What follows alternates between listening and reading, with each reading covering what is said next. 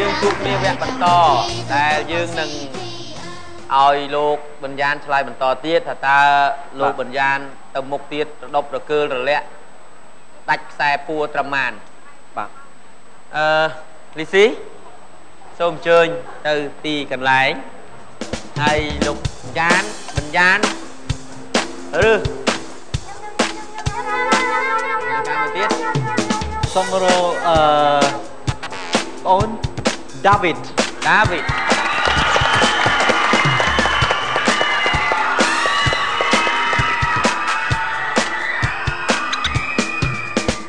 ដាវីត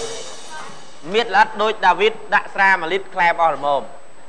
អូខេអូខេបាទជួយ talk to each other តាមចិត្តខ្ញុំខ្ញុំចង់យកភាសាខ្មែរថ្នាក់ទី3 in the Okay. Electronic បត board សម្រាប់យកភាសាខ្មែរថ្នាក់ទី3តាមបងអូន David ទៅចុះភាសាខ្មែរថ្នាក់ទី3តាមប្អូនដាវីតបាទសំណួរគឺថ្ងៃអស់ស្ដងគុតមានន័យដូចម្ដេចថ្ងៃរះថ្ងៃរៀបលិចថ្ងៃលិច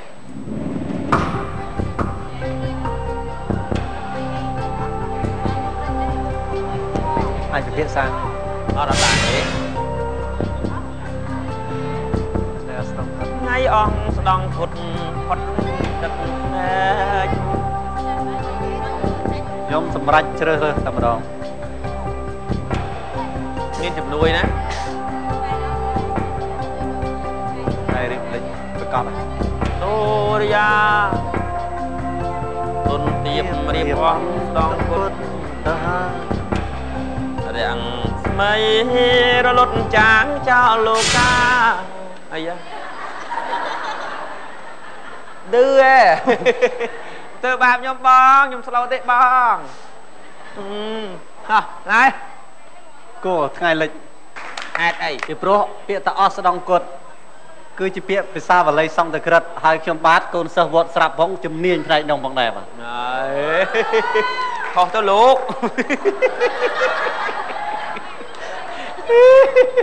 អួតពេកខុសទៅលោកឥឡូវមើលចម្លើយរបស់ដាវីត កបានន័យថាគ្រប់ត្រមួយមើល4អ្នកទៀត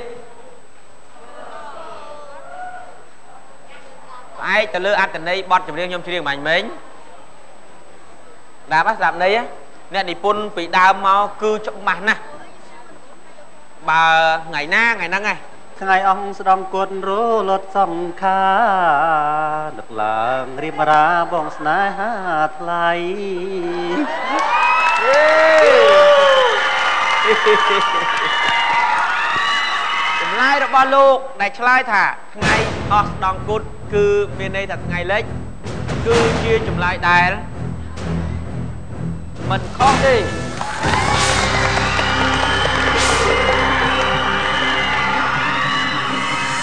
សូមរស់វិញ្ញាសាបន្តភាសាខ្មែរថ្នាក់ទី2កូនសិស្សលោកឆ្លើយឡើយហើយគឺតើពាក្យណាមានន័យដូចនឹងពាក្យដេក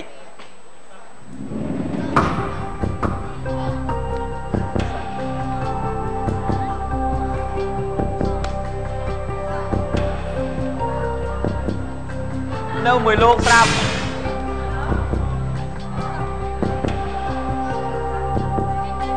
បានមកឡើងដល់ស្មាននេះហើយមិនងាយចុះចាញ់ផ្ដាស់ទេអូខេតោះ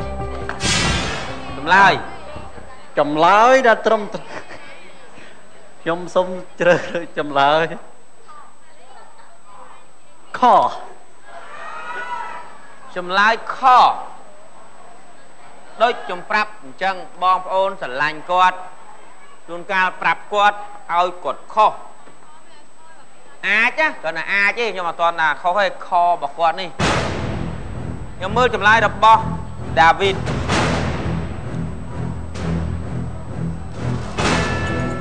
ពុកនៅស្ដាប់ទេណា4អ្នកទៀតអត់ទេពីច្រើនដូច្នេះ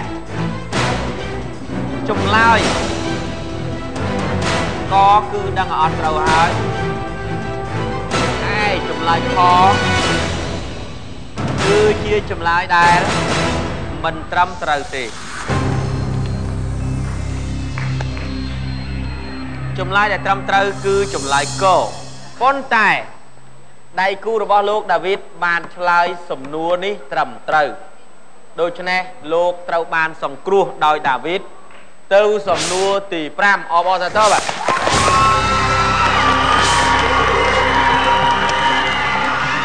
សូមជួយដាវីតត្រឡប់ទៅកន្លែងវិញអរគុណដាវីតដែលបានជួយបងជំនួយរបស់លោកនៅតែមួយទេគឺចម្លងតាមចាប់ពីមេពេលនេះទៅគឺផ្លូវរដប់រកើលរលាក់កញ្ឆេងសូមរើសជំនួយបន្តអឺទី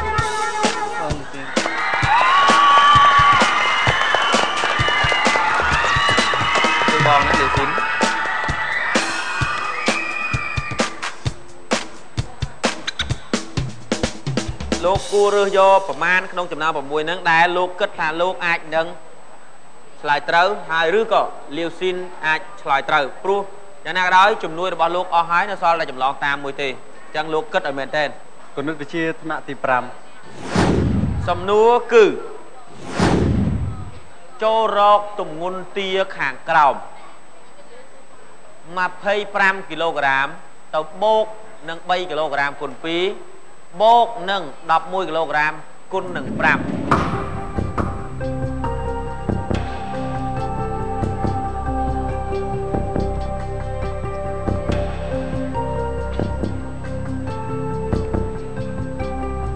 លេខបូក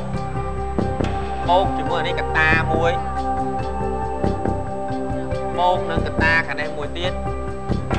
បើឲ្យត្រឹមត្រូវទៅមិនបាច់ដាក់វងកញ្ចក់នេះមួយទៀតទេព្រោះអីយើងមិនបញ្ញាគុណណាបើអានេះគុណអានេះត្រូវដាក់គ្នាវិញអានេះវងកញ្ចក់ក្តោបលើវងកញ្ចក់នឹងគ្នា3គីឡូក្រាមគុណ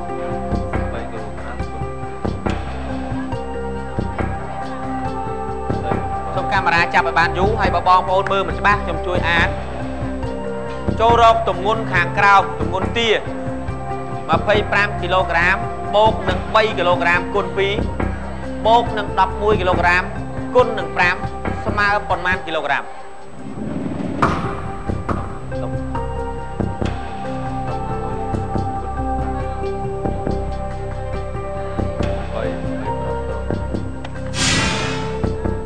គុណហើយនឹងបូកឲ្យស្រួលបួលណាវិធីបូកមានលក្ខណៈត្រឡប់វិធីគុណមានលក្ខណៈត្រឡប់វិធីចែកអត់ជំ នួយរបស់លោកនៅសល់មួយទៀតបើសិនជាមិនច្បាស់លោកអាចប្រើជំនួយ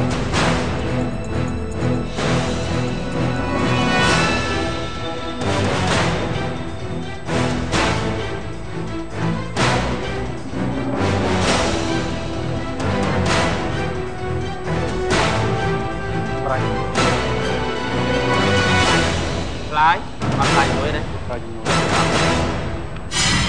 ចម្លើយរបស់លោកគឺ 86 86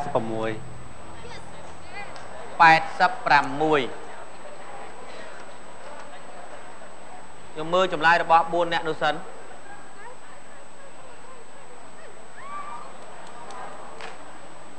មើលចម្លើយរបស់លាវស៊ីនលាវស៊ីន86គីឡូក្រាមដែរគឺជាចម្លើយមួយដែលមិនអាច សោកស្ដាយបានទេ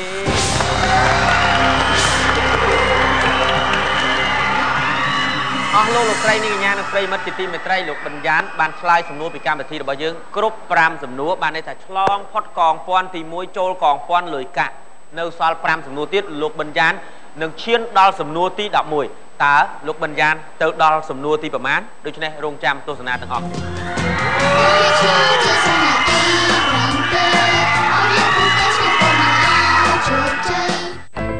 កាភេសជ្ជៈបើកម្លាំង